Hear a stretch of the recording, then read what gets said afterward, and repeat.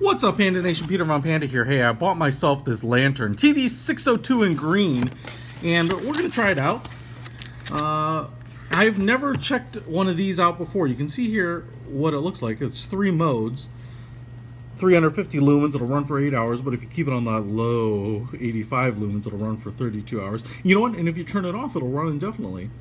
So the cool thing about this and why I picked it up is it looked like it had some interesting transformer-like features. So I want to check it out with you.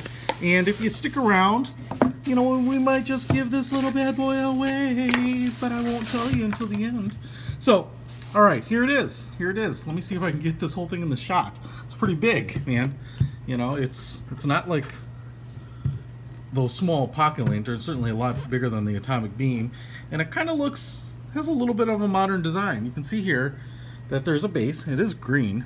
Oh my gosh, what happened? What'd I do? I don't even know what I did. Somehow it's on. Oh. Alright, well, ruin the surprise. You do have these little silicone feet, so it should kind of stay in place. Uh, plastic construction, kind of like a high impact plastic like a toy. And uh, that's in green. And you have what here is like a capacitive touch power button. You can see it right there. It's in this little recess because it's not a physical button, which should be nice for keeping it waterproof. And then you just tap it to scroll through the modes. Behind this little silicon door panel here, it looks like you have a little LED light for when it's charging, a micro USB port, and then a little plug that this little male plug goes into. A little hole, just like that. So that should help keep that fairly nice and watertight.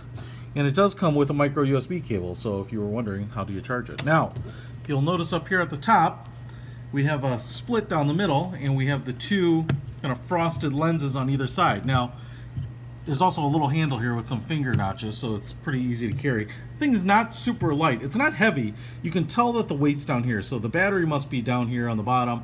Um, and so, looks like I might have busted the thing there. There we go. It's all nice and put together now. Um, but you can kind of tell all the weights down here, which is going to be nice for stability. But all of this is really kind of like standard lantern plastic LED stuff, so it feels it doesn't feel super heavy and you can just kind of tell that it's much lighter up here. All right, so first of all, let me just take a look at the lighting element with you. So I'm going to hit the button here and you can see we have definitely like a warm white light. Now it might be a little hard to see, but you can see kind of dual LEDs you know, six pairs of them going up and down. Same on both sides. And we're definitely getting like a warm light right there. If I hit it again, it's a slightly lower output. Hit it again, even lower. It's almost like a candle at this point. And then off. So those are your modes. Which is what we know from the instructions. Now, looks like we can open this bad boy up and inside what we have is, dun, dun, dun, look at that. Looks like crystalline solar panels under kind of like a tempered glass, no, like a plastic. Some sort of like kind of matte finish pebbled plastic.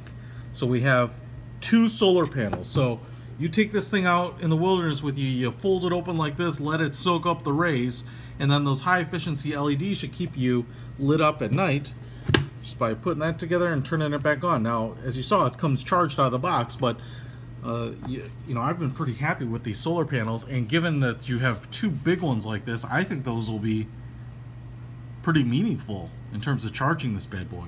Obviously, micro USB, you can charge it up, but that's pretty cool. So I'm I'm kind of digging this thing. Now, I know what you're saying. How well does it work as an actual lantern? There's only one way we're going to find out. We have to take it outside in the dark and try it. All right, guys, out here in the dark, pretty dark. You can't see anything, can you? I'm at my table and I've got the lantern out here and just turned it on. Had to do it by feel because I couldn't actually find it. So, first of all, man, that's the high setting. Perfect working light. And in fact, lights up plenty of stuff out there.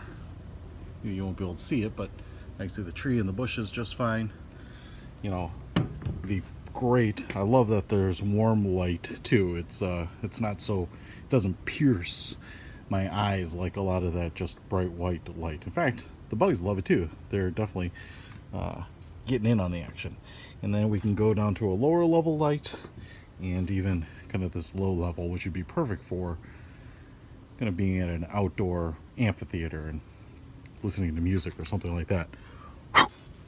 Get rid of that bug. There we go. Turn it back on. So now, um, I actually kind of wondered if I could open it up, and apparently you can. So if you wanted to direct a light in a certain way, you could certainly do it like that too, and have kind of all the LED elements uh, showing in one direction, and even kind of carrying it like a lantern. But obviously, I think it's primarily meant for use like this. So pretty cool. Obviously, the light works because the bugs are all up on its business. Very, very useful.